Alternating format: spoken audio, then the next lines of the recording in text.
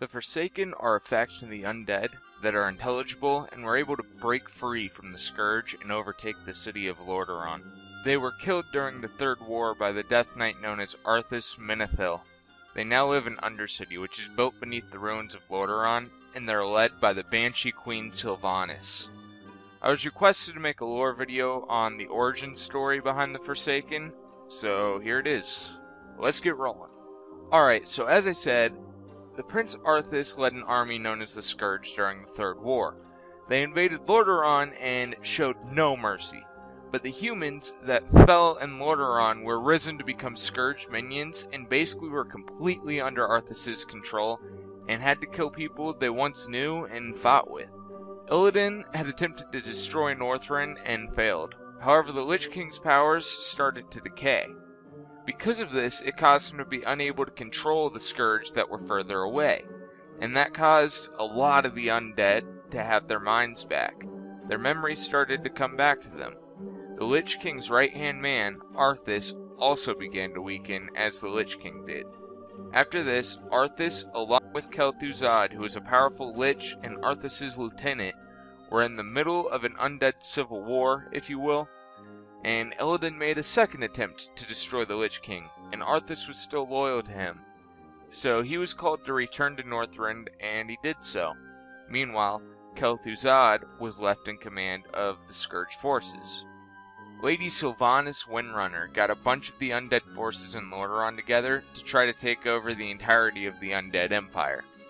They had cunning, manipulative leaders and banshees, and the undead were able to force some of the other forces around Lordaeron to fight with them, including factions like the Gnolls and the Ogres. Dreadlord Varimathras pledged his loyalty to Sylvanas in exchange for his life, and with his help, they were able to get rid of Detheroc and his army, as they allied with the forces of Grand Marshal Garithos to attempt to free Lordaeron because it was under control of the remaining Dreadlord known as Balnazzar. Garithos had been known to be racist. He hated any non humans. But he put that aside to fight with the undead and their other non human allies. Sylvanas promised that if they won, she would let Garithos keep control of Lordaeron. So the undead and all their allies went to slay Balnazzar. The undead and their allies dismantled Balnazzar's power in the city and Varimathras destroyed his brother. Immediately after the battle was over, Garithos commanded that the Forsaken leave the land like Sylvanas had promised, and then she just killed him and claimed the ruins of Lordaeron for the now free-willed undead. So they now had control of Lordaeron, and all their enemies at the time were taken care of. So Sylvanas named this faction the Undead the Forsaken. After this, the Queen Sylvanas and the Forsaken made the Undercity theirs and created this huge network of crypts and catacombs that the Scourge had started long before. There are poisonous sludge rivers that go through the various routes in the Undercity, and with all the toxic fumes and putrid smells, it's almost unbearable for the living members of the Horde. Sylvanas knew she wouldn't be able to hold Lordaeron forever, so she turned to looking for allies. The Banshee Queen wanted to be assured that her and her people wouldn't have to worry about being invaded and losing Undercity since her nation was so new. So she sent several representatives to a few different factions throughout Azeroth to attempt to make allies. Archdruid Hamuul Runetotem, a Tauren of Thunder Bluff, saw good in the Forsaken and knew they could be redeemed. The Tauren talked the war chief of the Horde, Thrall, into allowing the Forsaken to join the ranks of the Horde. This greatly increased the Forsaken's chances to defeat the Lich King, just exponentially, even though the Horde didn't really gain much by forming this alliance with them. The Darkspear Trolls were against the Forsaken because of their use of shamans, but they learned that they could trust them and fight alongside them in time. The Forsaken were the main group of Horde in the Eastern Kingdoms, so they had to deal with enemies that surrounded them. Lady Sylvanas would free more undead, and they would join the ranks of the Forsaken and assist in tasks in their nation, the Tirisfal Glades. Inside the Tirisfal Glades, there were two main factions the Forsaken, of course, and the remaining ranks of the Scarlet Crusade.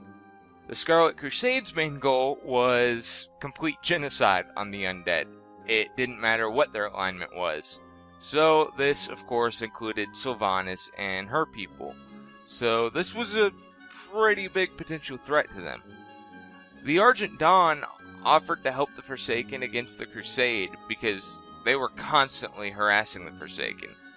The Forsaken began to march into the stronghold of the Scarlet Crusade in eastern Tirisfal Glades, known as the Scarlet Monastery, so they could try to secure the land within their borders.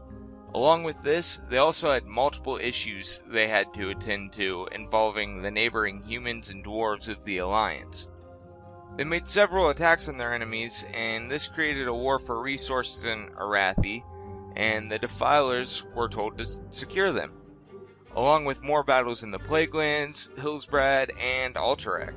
And on top of all this, the Royal Apothecary Society began to research a type of plague that could be used to take out the Scourge. Lady Sylvanas raised someone as a champion of the Forsaken after the Scourge had killed him. He was named Nathanos Blightcaller. He had told Forsaken members to kill the creature that killed him in life, and to collect a document about his and Sylvanas' time as the living from Quel'Lithien Lodge, which was basically just a lodge of exiled elves. Okay, so some time went on, and the Blood Elves who inhabited Quel'Thalas had just gotten their powers back, so they began to destroy the Scourge and reclaim their city. This was Sylvanas' homeland when she was alive, so she offered to support them in any way she could, and obviously she was also a huge supporter for allowing them to join the ranks of the Horde. The Forsaken and the Sin'dorei, now united, started to reclaim the Ghostlands, including the small town called Tranquillien. Meanwhile, the Forsaken would continue researching the disease they were trying to create in Outland, and people like Apothecary Azethen experimented with some of the new ingredients found there. Alright, so later on the Lich King started to make a scene, so everyone on Azeroth would know that he is coming out of the woodworks. The Forsaken were coming closer to their revenge, and they acted as one of the main forces on the war against the Lich King. Lady Sylvanas regularly traveled between Tirisfal Glades and Northrend, as she monitored the construction of a Forsaken village in Howling Fjord. There was a new camp called New Agamand and many of the Royal Apothecary Society's members lived there as they finished perfecting their plague, with plans to release it on the Lich King. Sylvanas was eager to test this disease because she had been overseeing its creation for years at this point. Now the time had finally come. The Lich King made his first attacks on cities of the Horde and the Alliance, and Grand Apothecary Putress made a camp in Shattrath City to defend against the Lich King's own plague. After a lot of trial and error, Putress was able to create a counter agent and was able to stop the spread of this plague. He became well known after this, and Sylvanas sent him to battle with the Horde advance into Northrend. The Scourge launched an attack on Orgrimmar while both Sylvanas and Putress were there. They fought alongside Thrall, Garrosh Hellscream, and High Overlord Saurfang, and a few heroes were there to help fight them off and this is when Thrall decided to launch an offensive into Northrend. So the Forsaken were the main faction to advance through Northrend, while most of the Horde took over areas of Borean Tundra. And the Forsaken fleet sailed upon Howling Fjord and laid siege. A regiment of the Forsaken known as the Hand of Vengeance came flying their banner, and they were tasked with one goal deliver revenge on Arthas. Prince Valanar, a servant of Arthas, asked the Forsaken commander, who was named High Executor Anselm, if he wanted to denounce his loyalty to Sylvanas and come battle with the Scourge. And uh, Anselm just had the San'layn Prince disposed of quickly, he had his assistants kill him right there. Another group the Hand of Vengeance were fighting in Northrend were the Vrykul, and the Royal Apothecary Society used this to their advantage and used it as a chance to test their plague, and they drenched a bunch of them with this blight. In Dragonblight, the Forsaken from New Agamand brought the strain of plague over to those stationed at Venomspite and Agmar's Hammer, so they could perfect it. And they also happened to run in with one of their oldest enemies while they were there, the Scarlet Crusade. Well, it, was a faction that splintered off from them, known as the Scarlet Onslaught. Now, the Forsaken were about to peak and get what they'd been seeking for so long, but a tragedy happened, and something went horribly, just terribly wrong for them. It was during the battle with Angrathar the Wrathgate and Grand Apothecary Putress and some Plaguebringers showed up. They asked the new Lich King if he thought the Forsaken had either forgotten or forgiven what he'd done. Then Putress doused the entire battlefield in a strain of light, which made it impossible for the Horde and Alliance forces to collaborate. It was even powerful enough to bring Arthas himself down to his knees. So he went back to Icecrown, and Putress just laughed at the death he brought on from his plague. Sylvanas was barely able to make it out alive, and the remaining Forsaken were taken in by Thrall while they planned the next attack. Thrall and Sylvanas were talking with Jaina Proudmoore, and they revealed that Putress allied with the Dreadlord Varimathras so he could end Sylvanas' rule. And then Jaina said, even though Putress was acting outside the orders of the Forsaken and the Horde, that King Varian Wrynn still held them responsible and was thinking about attacking Undercity to reclaim Lordaeron for the Alliance. During all of this, Varimathras had already taken control of the Undercity, so Sylvanas, Thrall, and Vol'jin made a counterattack to take Varimathras out of power and get the Undercity back for the Forsaken. They fought their way through the city that was controlled by the Burning Legion, and Sylvanas and the War Chief were able to destroy Varimathras and retake the royal quarter. Unfortunately, just as they were about to take out Putress, King Varian came in and said he was going to end everything right there. But luckily, before things escalated too much, Jaina teleported all the Alliance forces out of the Undercity so the Horde could restore the city. So now Undercity was restored, However, Thrall had lost all trust in the Forsaken because of the events at Wrathgate. Kor'kron overseers were made to watch over the Forsaken from then on. On top of this, they also lost all credibility with the rest of the Horde as well. Now that Undercity was safe, Sylvanas personally went to Northrend to get her vengeance on Arthas. With the Dark Rangers, Sylvanas attacked Icecrown Citadel and fought through the Halls of Reflection where she came face to face with Arthas wielding Frostmourne, the blade that took her life. And Arthas fought her off, and Sylvanas realized she couldn't beat him alone. The Argent Crusade and the Knights of the Ebon Blade combined their efforts and were able to destroy the Lich King. But now there is a void for Sylvanas. She and the Forsaken only existed to get vengeance on Arthas, but now they never could. Now, the Forsaken did definitely partake in the fall of the Lich King, and now that he was out of the way and Bolvar Fordragon took Arthas' place, the Forsaken turned to other pursuits. When the Lich King was killed, some of the smarter former Scourge members were allowed into the Forsaken by Sylvanas. The Val'kyr brought something new to the Forsaken the ability to quote unquote procreate with their necromantic abilities, which could help their numbers increase tremendously.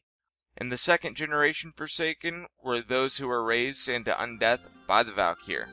Those in the new Forsaken generation are allowed to choose what they want to do after they're reborn.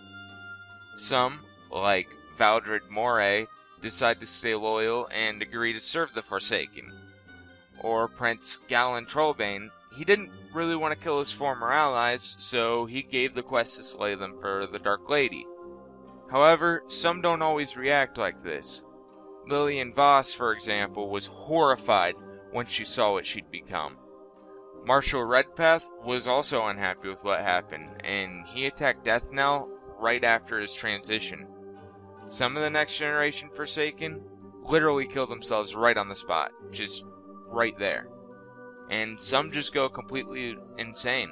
Dumas lost all rational thought after being resurrected by the Val'kyr. After the shattering, Garrosh Hellscream ordered the Forsaken to attack Gilneas, and they did so. They took a more offensive stance on the war with the Alliance, and now they had a grasp on Lordaeron and their land better than ever before with their numbers so high. The Forsaken began to fortify their territories and create their own architecture. They finally seemed to have everything secure. And that's pretty much all of the main story of the Forsaken so far. You know, they've also made appearances in Draenor and now against the Burning Legion as they've returned, and they continue to fight alongside the Horde. But yeah, alright guys, I appreciate you watching. Uh, please leave any feedback you may have in the comments, and if you enjoyed, please leave a like or subscribe if you're inclined to. and I will see you next time.